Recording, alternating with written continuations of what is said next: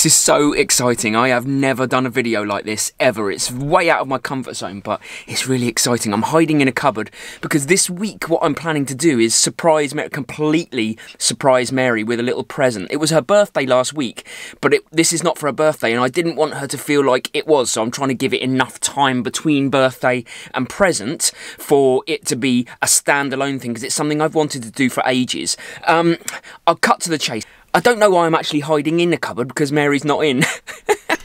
oh, by the way, probably should mention I'm buying Mary the Garmin Vivoactive 4S. I don't know why I was in the cupboard, but I'm out here now and I can talk loudly because Mary's not around, but I am really excited about this surprise. Let me just, let me fill you in a little bit. So if you don't follow the channel, if you don't know Mary, then first of all, you're mad because she's a wonderful human being and I am very privileged to be married to her, but she has been on her own running journey now for a couple of years. She was a runner growing up. Um, she was actually a sprinter and, and she kind of fell out of the running, got a few injuries and fell out of it. She's been running again for the last few years and, and she's really, really come on. You know, she ran a marathon in Seville earlier this year and, and everything is going in the right direction. And I want to surprise her and I, I really believe that she deserves this little surprise and treat. So we're going to get her to take it out for a run once we've got it. I'm going to order it now.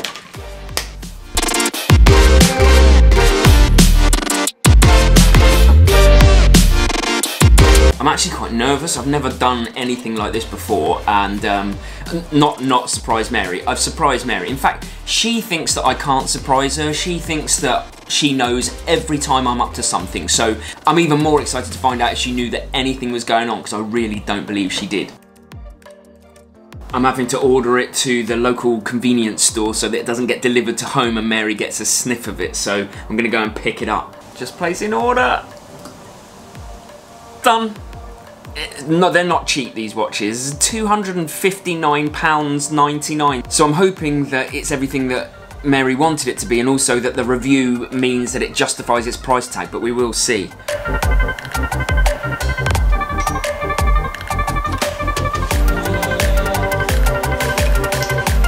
It's time. I have a plan. I've sold it to her that I'm going to Sainsbury's to do the weekly shop, like I would do that voluntarily. But I'm gonna go and get a small present in Sainsbury's, something completely generic, pointless, but you know, she could think, oh, it's a little gift. And I'm gonna put the proper gift inside that gift so that when she opens it, blammy. right, I've got the decoy, the red herring. It's, it is simply a Harry Potter lunchbox, like pointless really, but I'm gonna try and get the, the watch in there.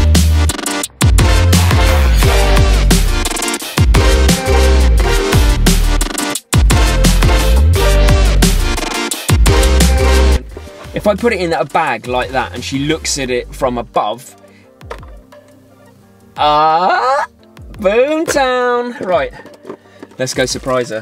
When I come up, you have to close your eyes.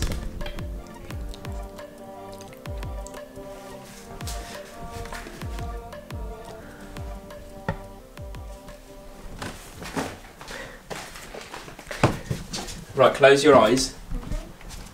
They closed, fully closed. God, I'm scared. Don't be scared. Put your hands out. Will I like it? I don't know. You'll see. Hang on, I'm going to put it in your hands. Oh God. Okay. Gently. Okay, you can open your eyes now.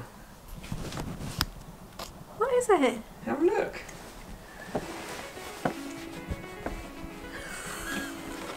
What? what?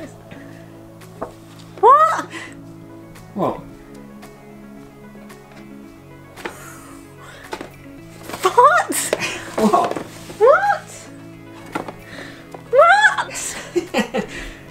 I may have bought you a little new present. Are you kidding me? Oh my God. Something else the bag Really? I feel emotional. there is one caveat with this present. what? You have to do a product review. An in running race product review and a product review from someone that doesn't really know how to use a watch at all. God. Are you serious? yeah, This is mine. yeah. And it's actually got a watch in. yeah. Can't believe it. Thank you so much. That is so kind. That looks so different to my normal watch. That's your new running watch and day-to-day life watch. Yeah. Oh, she's interested now. Oh, it's really nice. Oh. Oh my gosh. I'll let you play around. Can you just confirm to me, Mary, that you're going to do a product review? I will, I promise.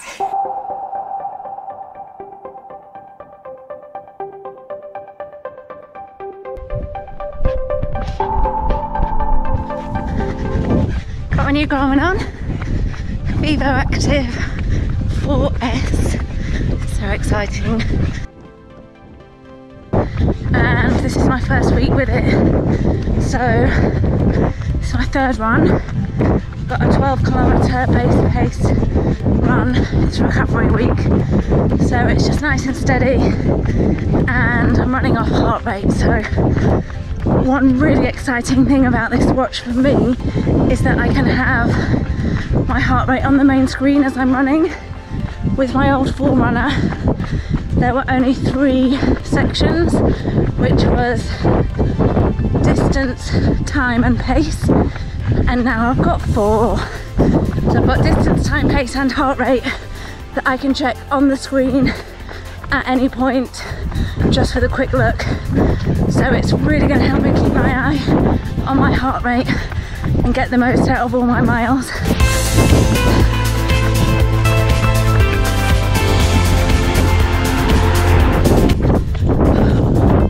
Currently I'm running at about 5 minute kilometres. My heart rate's in the 140s, so that's good.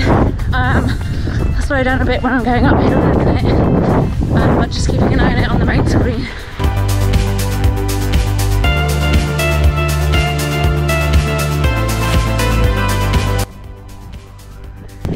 Last kilometre now of the run.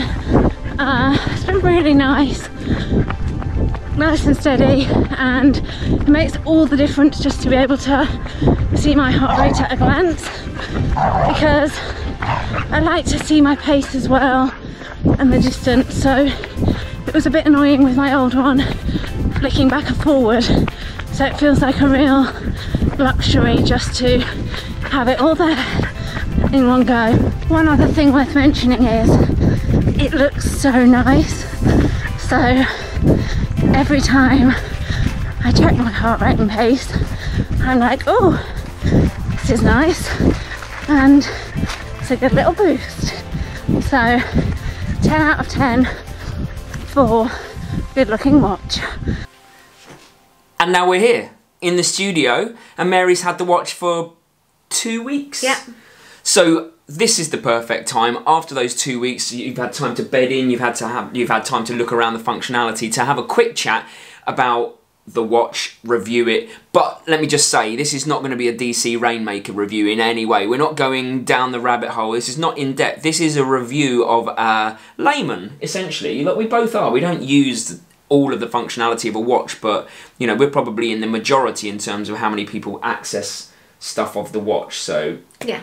Let's talk about it. The first thing to talk about is that the, the 4S is just the smaller version of the 4 for people with smaller wrists. So if you're wondering what the difference is between the 4S and the 4, that is it. So Mary, what about the look and the feel of your watch? I absolutely love how it looks, and my old watch was just black and square, and I used to feel like it's good for running, but didn't quite go with smarter clothes, like for work. Um, it didn't really work, but this is perfect for all occasions. Yeah, it suits everything, doesn't Yeah, it? So, yeah. and that's a good thing. And um, you know, I you, love the strap you chose. and you can customize the face. Yeah, so I've got a picture of a sunset in Hawaii, which is Your just happy place. yeah. But functionality, this is where it really comes into its own, the 4S, I think. Um, you've got the heart rate monitor wrist-wise, don't you?